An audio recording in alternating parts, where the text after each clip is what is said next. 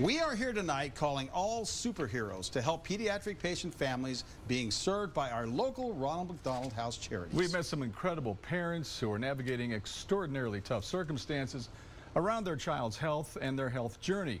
We've met some of the staff who work at the Ronald McDonald House charities and the outstanding work that they do. And we've met some of the volunteers that make all of this mission possible.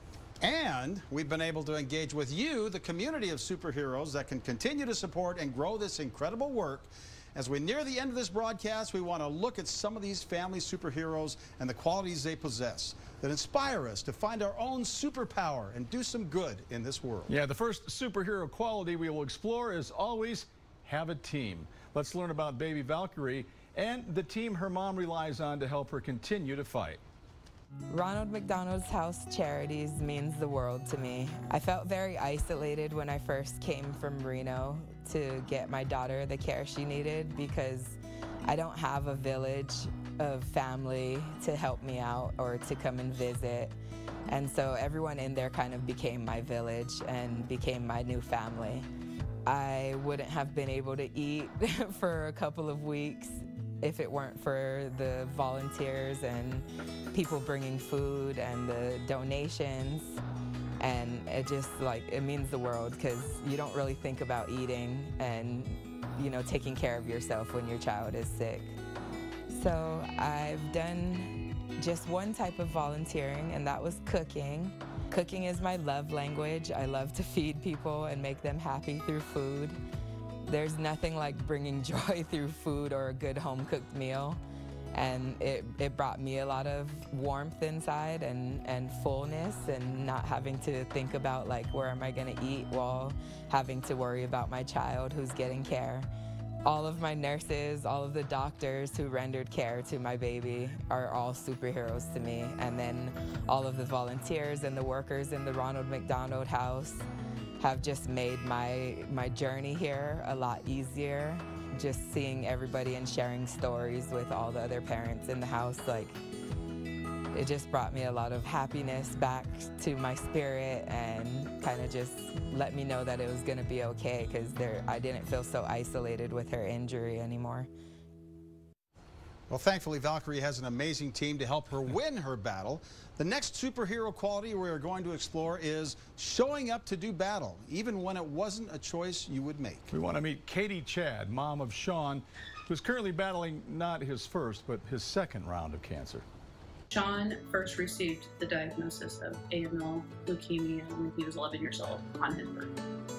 And we spent a month in Boise doing chemo and they asked us to pick a hospital. So we did some research. We decided on Dr. Boyer, so we came here to Salt Lake. And so we went to Children's Primary and we did a few more months of chemo. And they finally gave us a bone marrow transplant and it worked. And they give you 100 days, you know, before they let you go home. So we got to come to the Ronald McDonald House and we won. You know, went into remission for three years.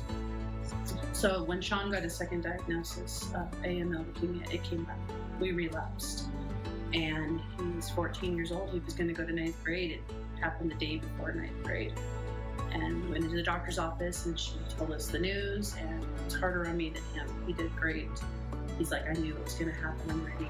Superheroes don't get to choose, but they show up for the fight. Um, Sean, he shows up every day. He doesn't have a choice you know, but staying positive or fighting even when you don't want to. You could tell there was times that he could have just gave up. The Ronald McDonald House is our home. They're supportive. It's a reassurance we don't feel overwhelmed or neglected because we have a place to go. We're safe. We have food. It's amazing. We couldn't do it without you guys. So.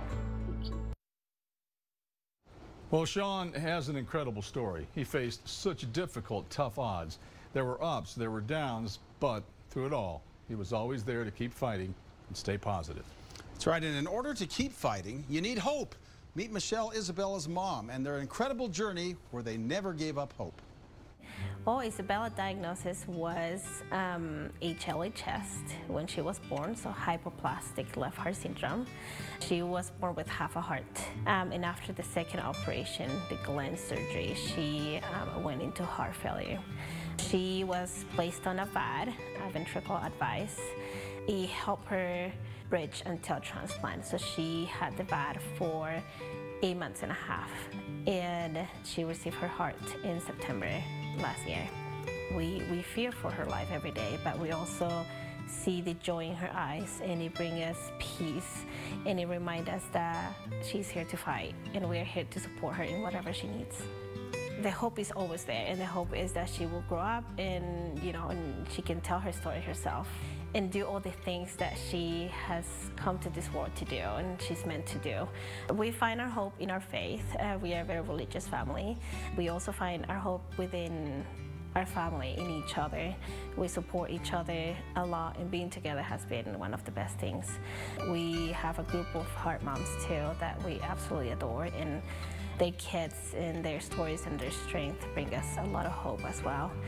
Trying to not feel alone is, is very important in reaching out to any other moms or any other families that are in the same situation. Um, just because I know each kid is different, but when we're all together, we of support each other and we can help each other and lift each other up. The Ronald McDonald Charity has been amazing. It means the world to us. It has helped us when we didn't know what we were going to do and has bring us that peace that we needed to keep going with Isabella. Isabel's, Isabella's story is one that reminds us never give up. Miracles do happen. Well, we're coming to the end of this very special broadcast. You can be a superhero tonight and help pediatric patients like Valkyrie Sean and Isabella and their families. It's simple. Just make a gift. When you donate, you can choose to donate in honor of one of those remarkable children. And to donate, please text superhero to 78619 or visit ronaldmcdonaldhouseutah.org or scan the QR code that's on your screen right now. Okay, when we come back, we will remind you how to donate again and set a donation goal for our superhero viewers that are watching tonight. We'll be right back.